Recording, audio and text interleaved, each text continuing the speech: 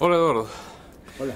Cuéntame sobre cómo anda el panorama de Open Data, la comunidad que usa datos abiertos en, Ecuador. Eh, en estos eventos me enteré que eh, la próxima edición va a ser la primera en la que participe Ecuador como país, y lo cual me da mucho gusto, ¿no? Pero quisiera tu, tu visión de cómo va allá las cosas. Bueno, el tema Open Data, datos abiertos, es bastante reciente, ¿no? la conversación todavía se limita a un grupo pequeño y con ciertas acciones muy puntuales que buscan eh, fomentar a que, a que crezcan, ¿no? Eh, nosotros hemos estado un poco involucrados en ciertas iniciativas tratando de aportar a que esa conversación avance.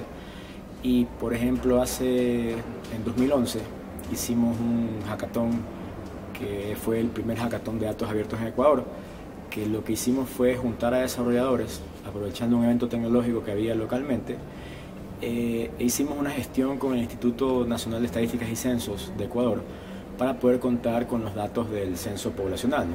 Entonces, lo que se consiguió fue que en este evento participe una persona del Instituto de Estadísticas y Censos explicando la estructura de la base de datos de los datos del censo que nos habían eh, proporcionado para este evento y grupos de desarrolladores eh, se juntaron para crear aplicaciones combinando ahí ciertas APIs y eh, los datos del, censo. ¿no?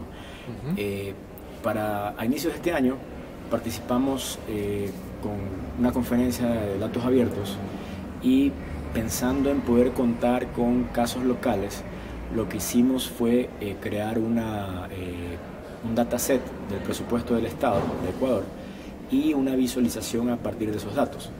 Porque el tema en Ecuador es que eh, existe una ley de transparencia y acceso a la información pública, pero el cumplimiento de esta por parte de las entidades gubernamentales eh, un poco se limita a publicar en, formatos PDFs, documentos escaneados y de alguna manera de esa forma eh, liberarlo.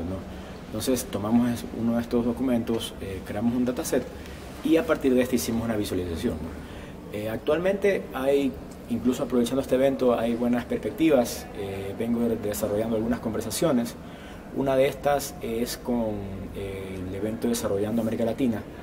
Y este año va a ser el primer año que se va a realizar en Ecuador, el DAL, ¿no? Entonces, al, igual que otros países, vamos a estar ahí involucrados. Y el afán es poder nuevamente orientar el interés de los desarrolladores hacia que se eh, amplifique eh, la conversación y que de alguna manera existan más eh, datasets para comenzar desde la parte técnica, pero que sobre esa base se construyan posibles políticas y normativas que, que fomenten. ¿no? Y adicionalmente, bueno, mantener el tema de la participación en eventos, crear ciertos casos locales, por ejemplo, un repositorio de datasets, que es otro tema que está en mente, y ciertas conversaciones que tanto aquí como en Ecuador hemos estado llevando adelante para eh, poder eh, avanzar con esta conversación, que efectivamente contemos con más casos de adopción y uso de datos abiertos, eh, aplicaciones que aprovechen estos datos y eventualmente normativas y políticas que fomenten el uso de adopción. Sí, pues no, porque por una parte hay que sensibilizar al, al gobierno también de que sea más abierto, ¿no? supongo que van a tener que hacer una labor de, en, ese sentido, ¿no? Van, en distintas entidades públicas para que colaboren eh, liberando datos y también la sociedad civil para que conozca el tema que de repente no lo conoce y se, se interese. Sí, eh, el tema va por ahí, ¿no? Primero es un poco eh, una labor como de evangelización que permita conocer el potencial, porque a veces estos temas no hay mucho interés porque no se conoce el alcance, el potencial, lo que implica.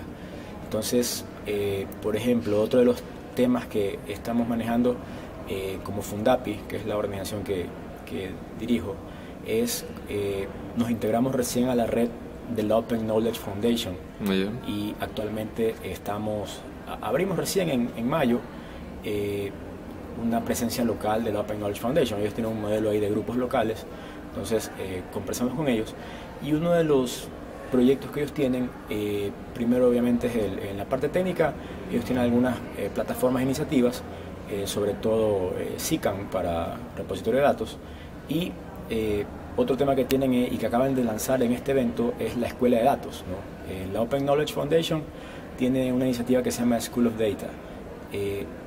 Y gracias a SocialTIC en México, se inició el proceso de traducir estos contenidos y recopilar experiencias regionales y se lanzó precisamente eh, ayer la escuela de datos eh, en español. Entonces esa creo que es otra herramienta que permitirá un poco eh, que más gente conozca de una manera sencilla de qué se trata todo esto. Listo. Gracias por tu información y el tiempo que me has dedicado. No, de nada, un gusto. Saludos.